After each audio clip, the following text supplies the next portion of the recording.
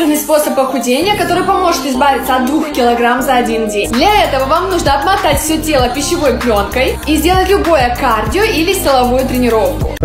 Старая добрая пленка возвращается. Многие даже знают, наверное, что наши бабушки, тети, мамы использовали этот метод или пытались использовать. Эффект очень временный, за счет чего происходит эффект. Выходит лишняя жидкость. Такой же эффект будет от сауны, от горячей ванны. То есть идет перегрев тела, за счет этого тело пытается охладиться, пытается вспотеть, вывести больше жидкости. То есть наступает временный эффект легкого обезвоживания. Потом, выпив несколько стаканов воды, все возвращается на место. Поэтому похудение это, это, конечно, не про воду, это не про пленку, это про контроль питания, чтобы оно было сбалансированное, здоровое и с легким дефицитом. Только такое питание приводит к уверенному потере веса и стройности. О том, как это сделать системно, упорядоченно и комфортно, я рассказываю в своем блоге, на который предлагаю подписаться.